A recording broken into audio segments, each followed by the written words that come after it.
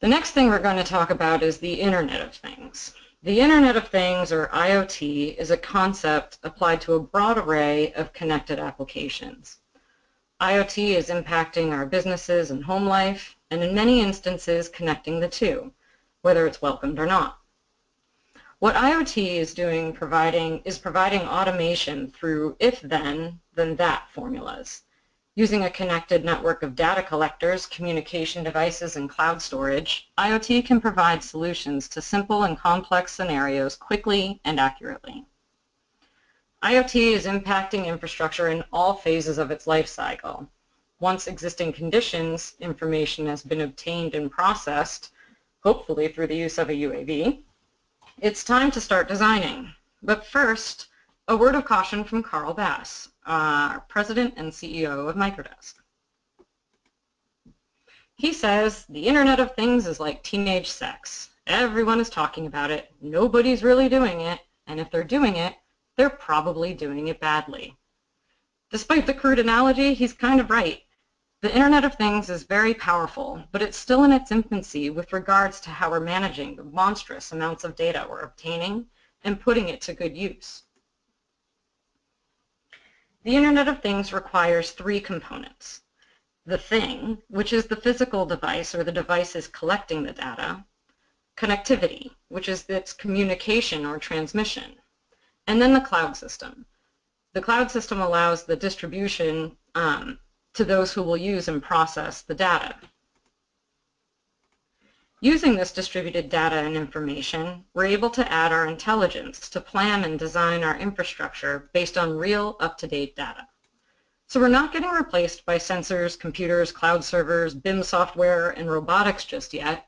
We will, however, start seeing programmers and network engineers as part of our project teams to assist in the collection, analysis, and distribution of data.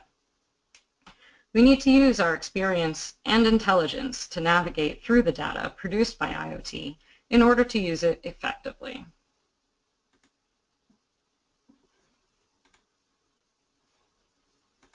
An interesting application of IoT that I'm currently interested in is the extraction of data from vehicle-to-vehicle, -vehicle, or V2V traffic data applications, such as Waze, to supplement, or dare I say replace, our traffic studies to plan for our future infrastructure projects more effectively. V2V applications are part of the IoT or part of IoT in which data is collected through cell phones and GPS, communicated to an application where algorithms are applied in order to deliver solutions such as traffic rerouting, delays in traffic time, and roadway conditions.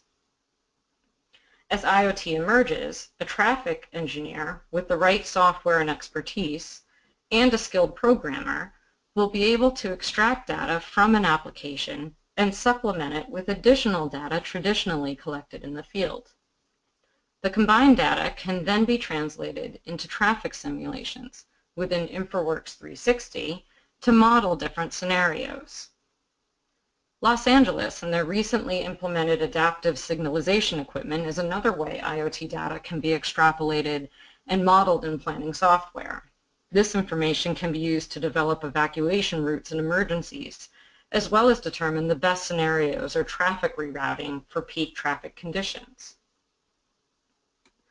London tracks pedestrian and bicycle usage through the use of cameras.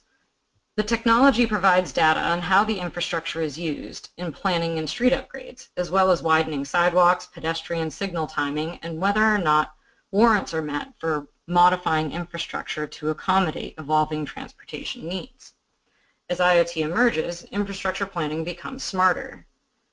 So what we saw in the video playing in the background there was um, InfraWorks 360 processing traffic simulations using extrapolated data. Now, it's not there yet, the technology, but um, what we should be able to do is provide, um, is extract data from Waze in order to supplement um, traditional data that's being input into InfraWorks. So providing um, InfraWorks with information maybe on a, you know, to do some forensic analysis on a particular event um, would be a useful application of IoT into um, our existing software. So as population grow in, um, in urban centers, er, infrastructure needs to adapt to suit the needs of the city's inhabitants. The most sustainable infrastructure is smart infrastructure that can adapt to its, um, to its change in use, its change in condition, or change in environment, and not additional in infrastructure that needs to be constructed. By incorporating data transmitting sensors on our city's infrastructure, we're able to monitor pedestrian and vehicular traffic, infrastructure structural integrity, utility condition, and emergency evacuations and pollution levels. The collected data can provide us information on how our infrastructure is being used, how it's performing, or how quickly it needs to be replaced. Emerging IoT technologies are also improving public safety. Throughout the United States, highway bridges are aging and are requiring more inspections to monitor their structural health. Through the application of networked sensors, bridges now have the ability to communicate their conditions through IoT. Sensors are attached to the bridge components and communicate through wireless access points to provide remote DOT management facilities the most up-to-date, accurate information on the bridge's integrity reducing the need for potentially unnecessary inspections.